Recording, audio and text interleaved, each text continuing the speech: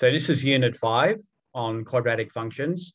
So probably before we go too far, we'll redefine uh, a few terms. So the first one was quadratic expression.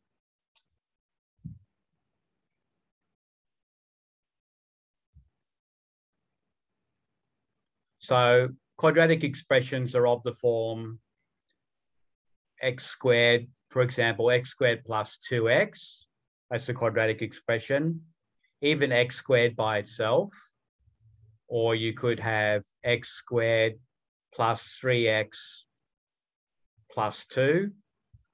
Uh, you could have x squared or minus 3x squared plus 5, something like that. So these are all expressions. You notice that there's no equal sign here. It's just an expression in x. But what's important is that you have to have an x squared somewhere in your expression, okay? That to make it a quadratic expression, okay? If that x squared is not there, it's not an expression. So it might be a linear expression, for example, x plus 2. That's a linear expression. There's no power 2 here. So that would be linear expression. So not much you can do with these, is there? Maybe we can factorize it. So x, x plus 2. Um, not anything to do there. x squared, you can't do anything with that really. So this one could be x plus 1, x plus 2. So you can factorize them. So we can be factorized sometimes.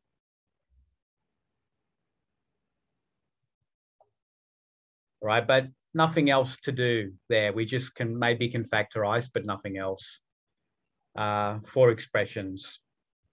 But for quadratic equations, equations, which you spent a lot of time on already the last couple of weeks.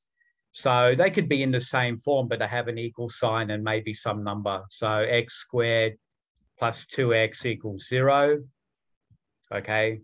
Um, you could have this one here, x squared plus 3x plus 2. All right, and you learned how to factorize these, and then we solved the equation. So we had x, x plus 2 equals 0. So x equals 0 or minus 2, for example. This one can be factorized as well, x plus 1, x plus 2 equals 0. So x would be minus 1 and minus 2, isn't it? For example. So these can be solved. We normally solve equations so expressions may be factorized. We can factorize many of them. But when you have equations, we're normally trying to solve them and we need an equals something, an equal sign. That's how we know it's an equation. So can often be solved, not always. Remember when your discriminant is negative, we can't solve the equation.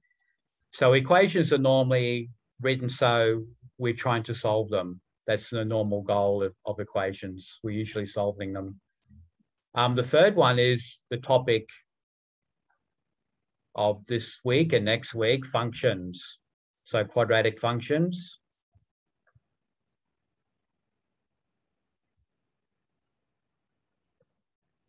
Now, also before we go on, quadratic equations can be equations in one variable. I should have written that there. So these could be called equations in one variable. The variable being x, okay?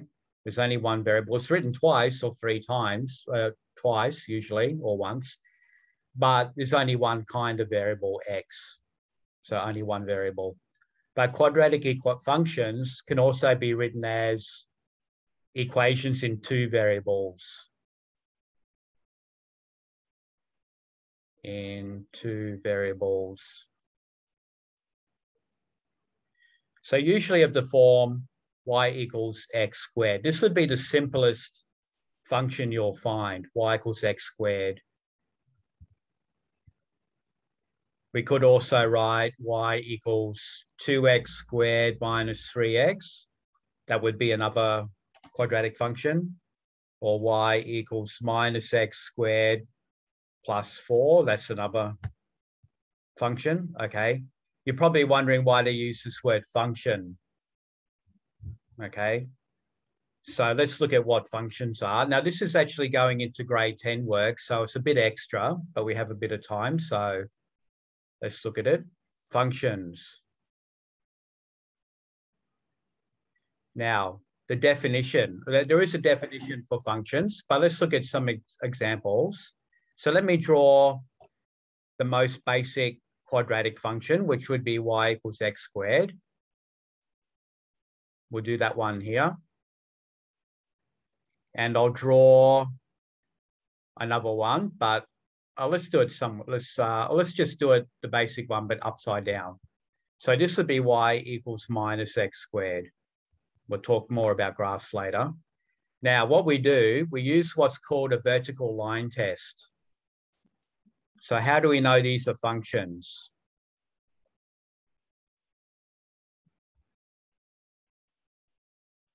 These are functions.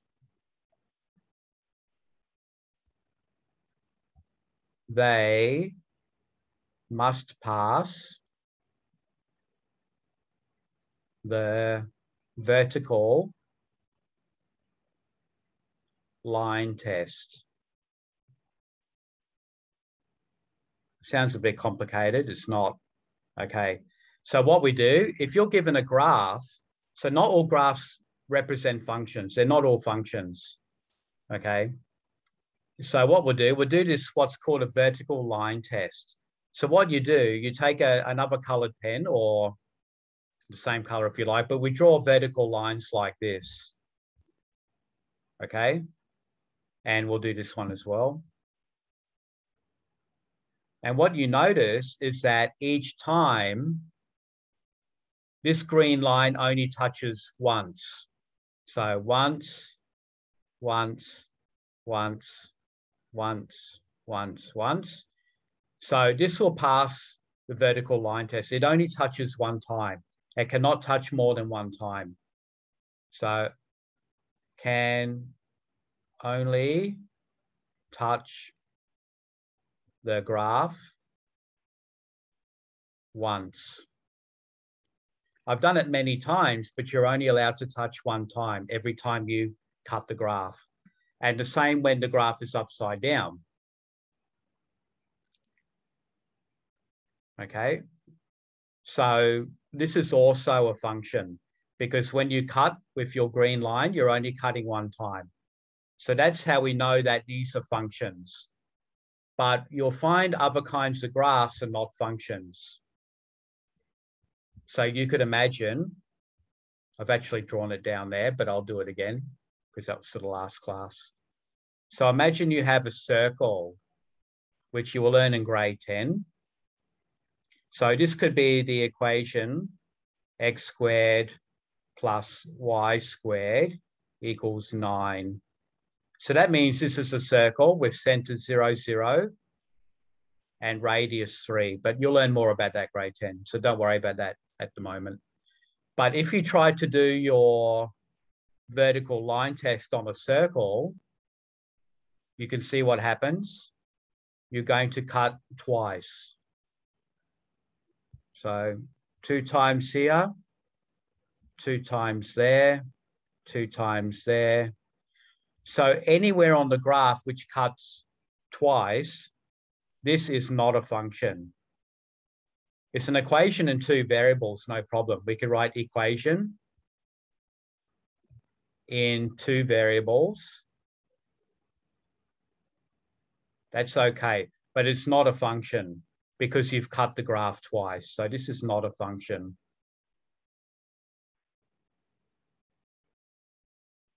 Okay, Another example would be a cubic graph. When you come to grade 10, you'll see graphs like this, okay?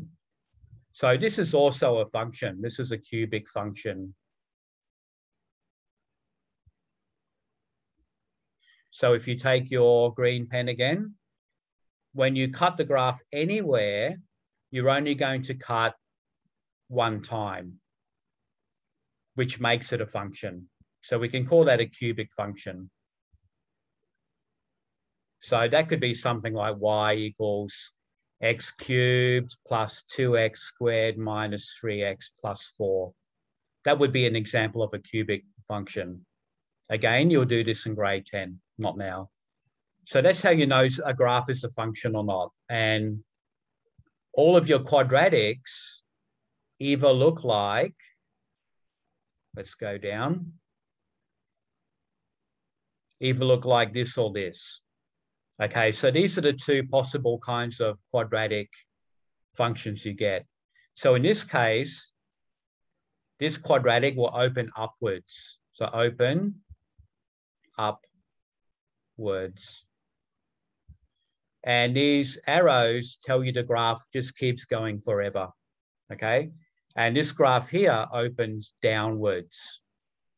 So down, and this one will open up. So another word, another words you see sometimes in books that are like the hat. This is a hat shape. Easy to remember because you got someone's face here, and this is like a hat. So this is a hat shape. This is a cup shape because it looks like a cup. So these are two words you may see in other books, and you may see me use them sometimes, but it's not very technical, is it? Cat, hat, and cup. So open upwards and open downwards we normally use. But go back to look at our picture here. Now you, you do see parabolas like very often in many, many contexts. So parabola is actually the geometric word. This is a geometric word. So it's usually referring to the shape. It's a geometric word. It's not an algebraic word. Normally we use quadratic for algebraic. Quadratic graph. It's the same thing, actually. The parabola is the quadratic graph. But quadratic is normally an algebraic word, not a geometric word.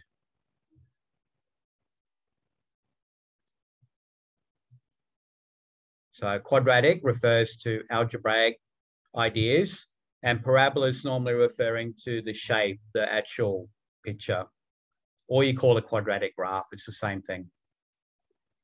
Now, in this picture here, they've got a bridge. This is the Golden Gate Bridge, I think, from San Francisco. But you look at the shape here, they've used this as an example, but this actually is not exactly a parabola. It has a different name called catenary, but it's actually this shape. So this is actually not a parabola. It has a different equation.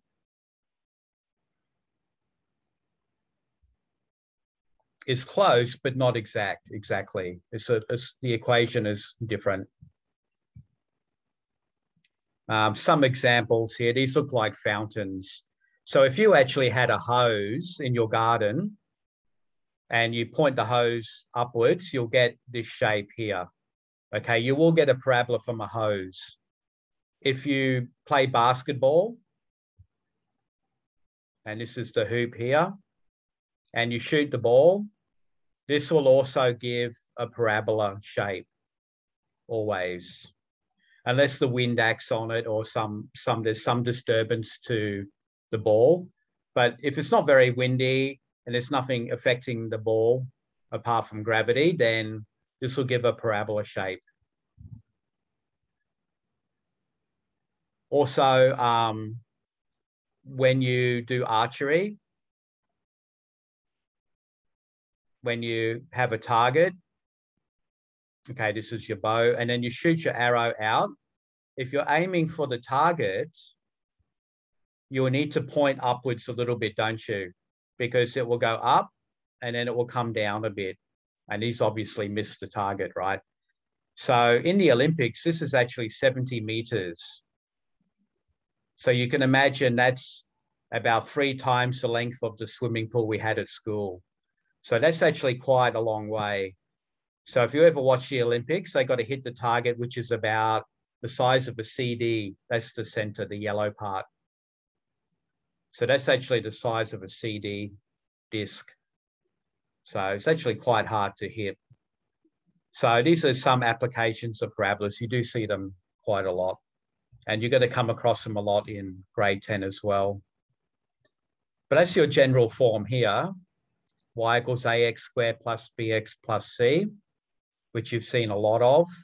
The only thing you see here is it's got a y now, which means we're graphing. So whenever you see stuff like this, you think about graphs.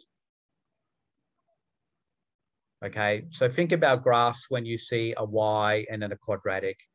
Now, a, b, and c are constants. So some number, it could be fraction, could be decimal, whole numbers, whatever. But a is not equal to zero. a cannot be zero. Because if you had that, you'd have y equals 0x squared plus 2x plus 3.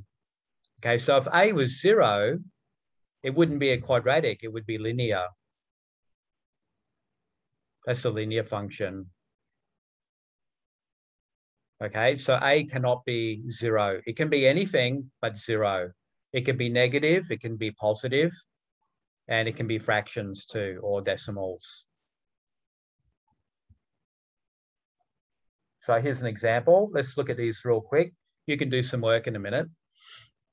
So we've got a quadratic here, y equals 3x squared minus 2x minus 1. Find the value of a, b, and c.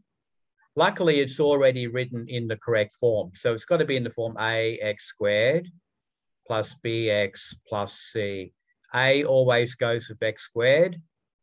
B always goes with X and C is the constant. This is the number by itself. So in this case, we can see that A is three here, B is minus two, and C is minus one, just like that.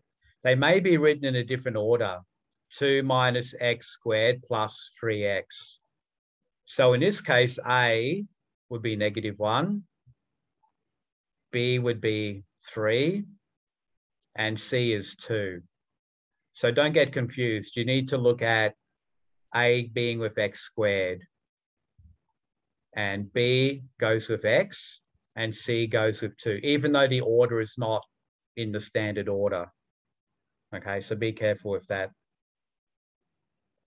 Okay, which function is a quadratic function and why? So we need to look at having the standard form. What they call here the standard form. It's in standard form. So that's ax squared plus bx plus c. You may need to rearrange it as well. But if we look here, we got x squared plus 6x plus 9. Well, this is a quadratic because it's in the standard form. And then we can say that a is 1, b is 6, and C is nine. So this is okay. This is a quadratic function. But if you look at this one, we need to expand it first. So you need to turn that into the standard form. y equals x squared plus 3x. So this is okay. We've got the standard form, but we're just missing the constant, which is fine.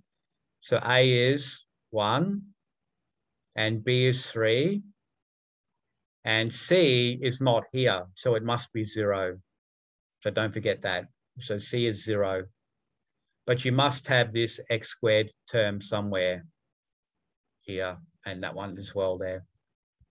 If you look at question three, 3 minus 4x, the problem is there's no x squared term. So that could be written actually as y equals 3 minus 4x plus 0x squared.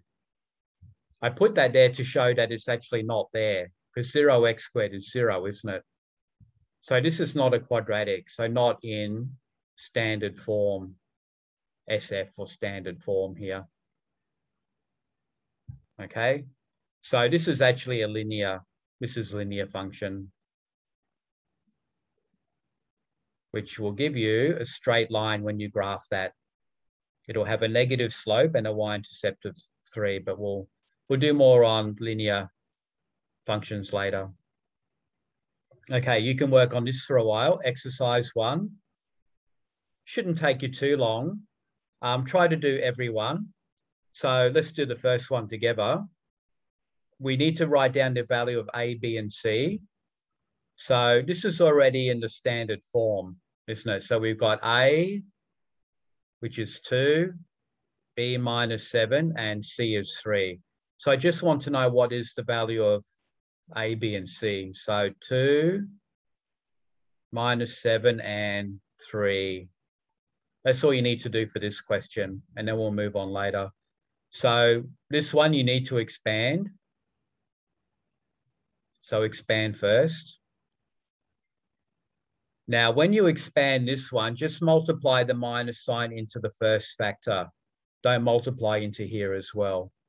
So you'll end up with minus x minus 3, and then multiply that to x plus 5. Like that. Expand this one. This one's okay. You can do that quickly. Now expand the minus sign in for this one. Expand your minus sign into there. Expand, expand. This one is okay to do. All right, so you do them for say five minutes. Let's go to 940. Okay, we'll do some answers just to check you're on the right track. This is very straightforward stuff. So in this one, we had to expand to give x squared minus 2x. So a is 1, b is minus 2, and there's no c, there's no constant, so that would be 0. So in this one, instead of me expanding it out, I'll get the answer key out. So we've got, for question three, you should have minus one, minus eight, and minus 15. So check on this one if you have not got those values there. Question four, we get one, six, and five. You need to expand that first. This is the A value, so that's going to be 4. There's no BX. B is 0 here. So B would be 0, and C is minus 1. When we expand that, we're going to get minus x squared plus x plus 12. So you're going to get minus 1, 1, and 12. Now, when you have these equations in two variables, y equals minus x squared plus x plus 12. Now, when we had equations before, for example, if it was written the same, but we had zero plus 12, you were able to bring these to the other side, weren't you? And then change the sign like that. So you could change your expression by moving it to the other side but when you've got functions, you can't do that because you have a y here. It's not zero anymore. So you're not able to take this to this other side. Cannot, cannot move this. So you can't take this and put it on the other side because that means the y would have to come over and it become minus y. Just becomes messy. It's not zero. So when you're doing functions, you can't actually move to the other side, okay, like you were doing with equations. So you can't have 1 minus 1 minus 12. So this is the only, only possible answer is here. So this was minus 4 plus x squared. So A is 1, B is 0, C is minus 4 for that one. So question eight, if you expand that, you'll get two, minus five, and minus three after expanding this one here. Okay. In question nine, you'll get minus two, seven, and 12 by multiplying this minus sign in there. And the last one, minus four. So that's A. B is 11. So that's 11. And C is minus six. So that's the answer for that exercise there. Straightforward. you're just asked to recognize what A, B, and C are. And that may require um, some manipulation, some expanding and stuff like that. Okay, so in this question here, we won't get a lot more done today. We might look at a few graphs, but let's see how we go for time. So I want to know, is this a quadratic function or not? So look at your form. It's in the correct form, isn't it? ax squared plus bx plus c. So it's in this form. So this is a quadratic function, yes. Okay, reason we write in, in standard form, which is that. So ax squared plus bx plus c. So it's in standard form, and then you can write a is 1, b is minus 2, c is 8. Okay, but if you look at question 3, you can see this is not in standard form because there's no x squared. There's no x squared value. So this will not be a quadratic function. So tick that. This is actually a linear function. Because it's in the form y equals mx plus c. So linear functions are in this form, mx plus c. And okay, so we'd say not in standard form ax squared plus bx plus c. So just write that down and then you just stop there. Okay, so you finish that exercise and we'll go through the answers in a minute. So I'll make it a bit smaller. So you either have, actually, you either have your textbook or you have your tablet. So you have one or the other, just work in your textbook if you don't have a tablet. A few of you don't. I do recommend you get tablets and learn how to use them though, because I think you're going to need that in the future. You need it now actually, but your life is much easier with the tablet. Okay, so you do the next one. Just expand. You see you've got a bracket, so you need to multiply this out first. So y equals x squared plus 3x. Okay, so question two here. If you expand, you'll get x squared plus 3x. So this is obviously a quadratic function because you have x squared present. So yes, and that's in standard form. And we'll just write down A is one, B is three, and C is zero. In that case, there's no constant in this one. You don't have to have a constant and you don't have to have the b term either, but you must have x squared. That's the key. And this one's missing x squared. So that makes it linear in this when it's written in this form here. So this one is okay. You could rewrite it if you want, minus x squared plus 2x plus 1. So that's in standard form, which is always written as ax squared plus bx plus c. And yes, it's a quadratic function. So A is minus one, B is two, C is one in that question. So question five, well, this is obviously a quadratic. And so we can write in standard form. And A is one, B is two, C is 3. Again, this is in quadratic form. We can see it's the standard form of a quadratic. So in standard form, and the A values would be 2, the B value is minus 10, and C is 8. Okay, now this is linear because we're in the form minus, we could write that as minus x plus 6. So this in the form mx plus c. So this is a linear, linear. This is not quadratic. So not in standard form. So it's a linear function. So whenever it's in the form mx plus c, so some number nx plus a constant, that is in a linear function. And c could be zero here, that's no problem. But that's what a linear function looks like. So this is, again, this looks like a quadratic.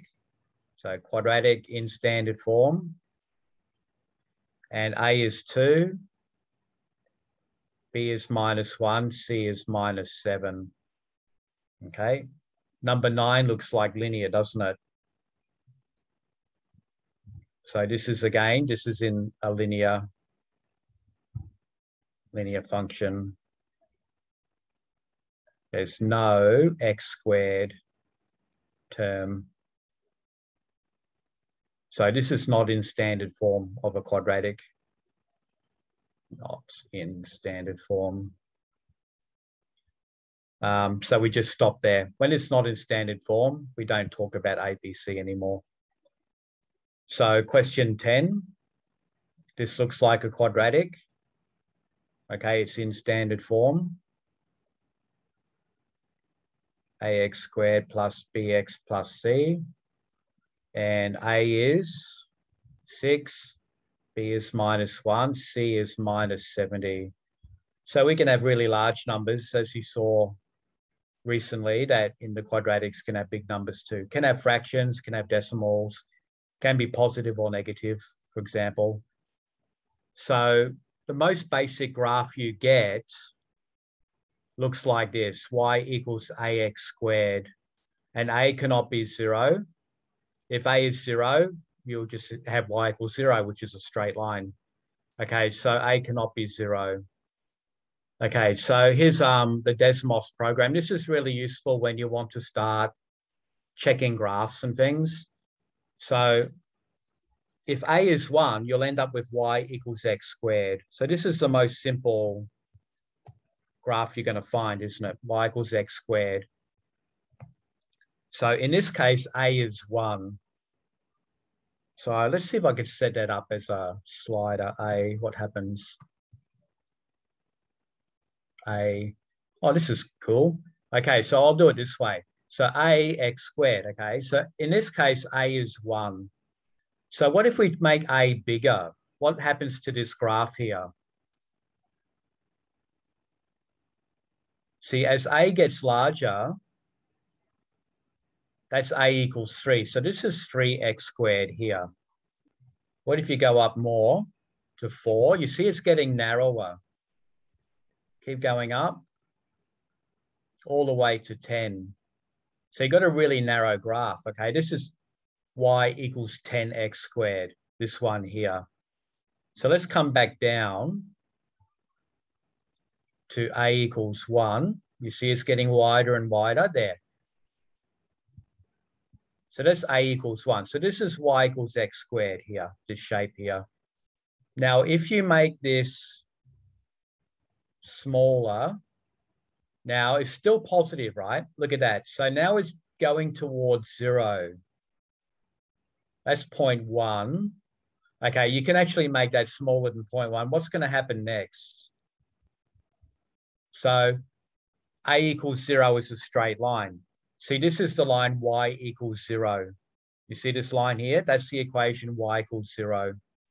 So I could write that on there, but it will disappear. So this is the line y equals 0 there. But what if I go negative? What happens? Look at the graph goes down to become a straight line when A is zero. But when A is negative, you're going to go as the hat shape now, opening downward. So this is opening up. See, opening up narrow as A gets smaller and smaller and smaller. down to one, and then it will still be positive, but less than one. Now it's getting wider and wider. It's going towards the line. And then it, when you get to A is zero, you end up with a straight line, okay? And when it becomes negative, it'll get narrower, but it will still be pointing downwards. You see that? With my hand? There. So if you keep making it negative, so this would be minus 3x squared and get narrower, narrower, narrower like that till minus 10. I think they can be changed as well, the slider. But that's how that works. Okay, so that's the first kind of graph you need to be aware of. So when you see that visually, you can see what's actually happening. And if you added a number like plus one, you'll get the same kind of graph, but now we have a y-intercept, which is one. That one there is this number here. And we'll do that. This is another kind of graph you'll learn. And then the same idea, the A will change and then it just flips around. Okay, I could make that another slider. I can make that C. Can I make that C? So add slider. So now I can change both. I can move this up and down, and this one will make the shape change. So I'm going to talk more about that later, but it gives you the idea of what they look like. And when you do your homework, you can use this program to check your answers as well, that you have the right shape. So that's up and down that one. And we can also add the BX in here and that will change where the graph is as well. But we'll look at that next week.